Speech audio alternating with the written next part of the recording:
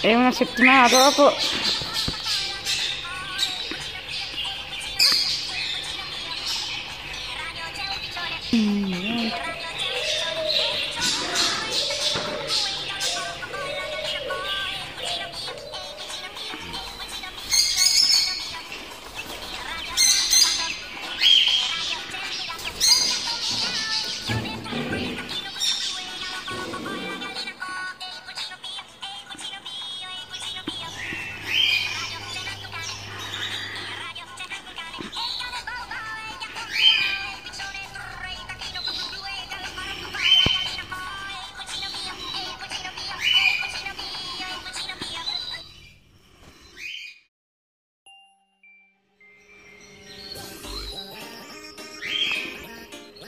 uova di quaglia inserite.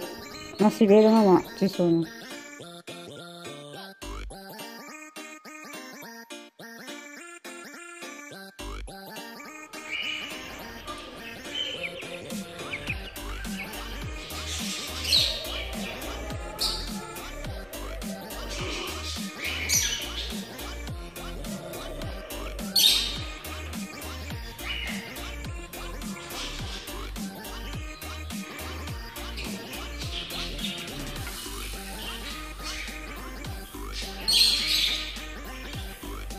guardate cosa mi è arrivato oggi.